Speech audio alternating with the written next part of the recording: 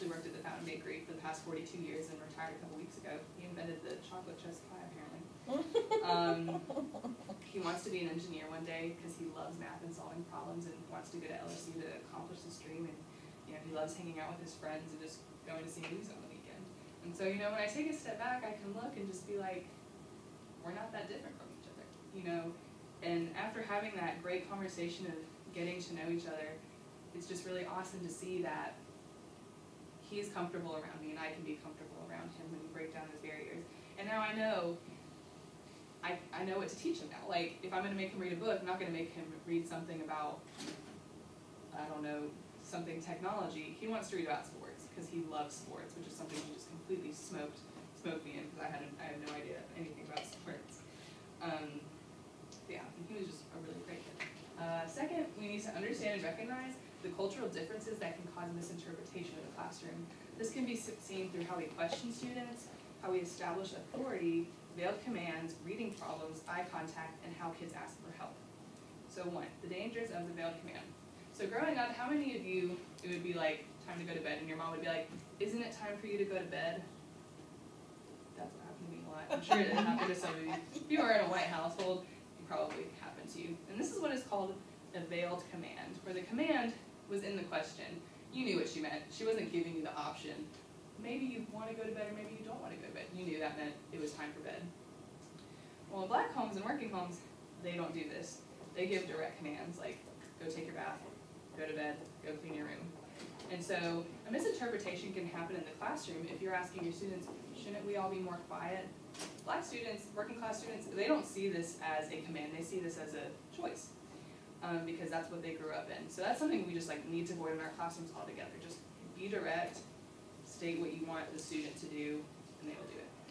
Sometimes. Sometimes, right. Um, the second thing that can be misinterpreted is how you establish authority. Uh, a middle class mindset is that the teacher is authoritative because she is the teacher, but a working class mindset has the mindset that the authority is the teacher because she is authoritative. So the difference in this is that, you know, I come up here teaching a class, the middle class are like, okay, she's the teacher, we need to respect her. While the working class, they think she needs to gain my respect.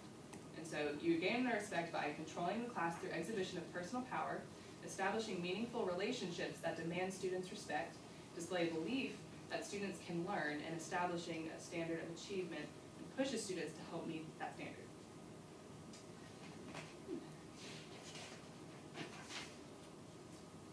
Another uh, uh, way we can misinterpret is in our questioning styles. Um, Shirley Brice Heath discovered that students do not respond as much to questions that are purely for feedback. So if you're asking a student, like, what is an iambic pentameter? And you just sit there and wait for someone to answer. No one's going to answer because they already know you know the answer. Or if you say, uh, a way to reframe that question is saying something like, why do you think Shakespeare uses iambic pentameter in the way he writes? You know, and that causes them to thinking like, huh, why does he? And you know, the answer would be something along the lines of it just sounds like everyday speech. Um, uh, another problem that is pretty big is the problem with uh, teaching reading. Uh, so there is no evidence that having a different dialect prevents or hinders a child from learning how to read. But there are theories that say a teacher's assessment of competence is influenced by the dialect children speak, so they automatically make low expectations and teach less. Another theory is that some teachers confuse reading with confuse teaching reading with teaching a new dialect form. So uh, one of the problems we see is we confuse correcting grammar with correcting a dialect. So like if a, if a student says, here go a table, we are much more likely to correct them and say, no, here is the table, even though here go is the same, has the same meaning as here is to the dialect of black students. Um, and then there's, but then you'll get grammatical problems that are like, here's the dog and there is the dog, and that is a grammatical thing that people don't really fix that much. Like, I didn't even know that was a grammar error until I made this presentation. Um, and then something we need to stop is correcting the pronunciation of students because it can just be frustrating if they're trying to talk and we're just sitting here like, no, that's wrong. What do you mean? You don't say brother, say brother. Um, another thing we need to not do is interrupt the fluency of students reading to correct them because if you do that, it just jolts their mind, they stop, and that goes against the Common Core Standard, RF five point four, which uh, says that the flu, that children need to be fluent in their reading. Uh, and then the last one is to make sure the students know reading is a meaning-making process. Like when we sit there and we, you know, someone's reading a sentence and you keep stopping them, and you keep saying, no, that's not how you say it, it doesn't become some, it doesn't have meaning anymore, it just becomes, I need to pronounce this right, I need to say this right. And that goes against the standard of, uh, having to make meaning out of what you're reading. Um, a really great example of the frustration in learning to speak a new dialect was done by Robert Berdan. In his college classroom, he made a new dialect. It was kind of similar to Pig Latin, and he had his students uh, speak it to each other.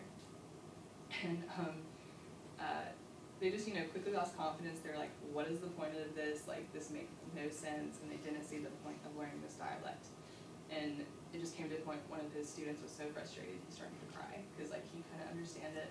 And, and like this is in a college classroom. Like he couldn't do it. Like and just think what we're doing to like elementary students, high school students.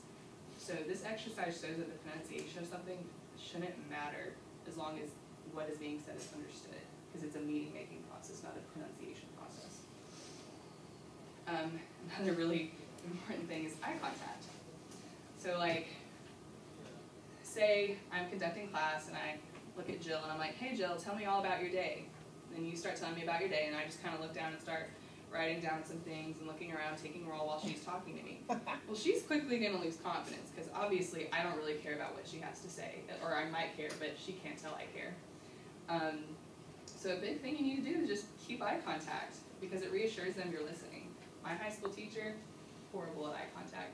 She would ask something and I would be so happy to give my answer, but once I started talking, she obviously was not listening.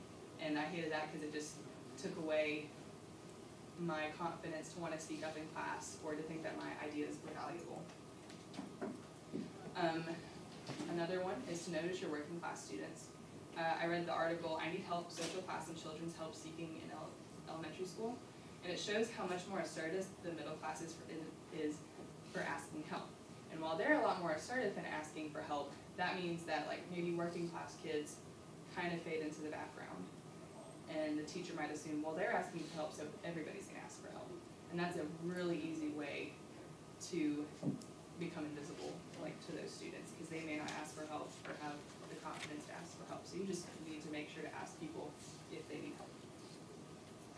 All right, so specific activities in the ELA classroom. One is just like get to know you questions, get to know about their life, because you know, learning starts with the student. Uh, greet the students every day and make it personal, you know, look at, Kyra, how's your day been? Did you notice anything fun on the way to school? And not only does this make them feel like they're important, but it makes them notice more about the world, especially if you know, they know you're gonna ask a question to them. Um, translate a rap song into American Standard English. Do role playing, like have a play, and just, you know, make them read and present to each other. Uh, have a daily news report where they have to give the news for the day while also um, speaking in American Standard English, like more professional. And uh, all these activities connect to the standard that states students must compare and contrast, contrast different varieties of English. Uh, for a big activity that you could do, I think this is really fun, it's called the register meal activity. So it's a really great way to teach formal uh, language and home language. So you start off with having the kids have a picnic and they can only speak in their dialect on that picnic you know, eat the way they want to, do whatever they want. But then you're going to hold a formal dinner where they have to dress up, have posture, and set up the table really nice, and they have to speak in formal language. And that also goes along with the standard of uh, teaching the, uh, the comparison and contrast of different types of English. So, in conclusion, all of this goes to show that a culture of power does exist in society and in schools. And it's our job as teachers to teach all these students especially those that are outside of this power. Uh, we need to teach them how to succeed in that culture while also teaching them, and this is really important, we need to teach them that their background is unique and doesn't need to be overshadowed, that this, the code of the culture of power is just merely a way to have success so that they can change it. Like Delpit would say, this culture of power is not ideal or what we wish for, it is simply what is.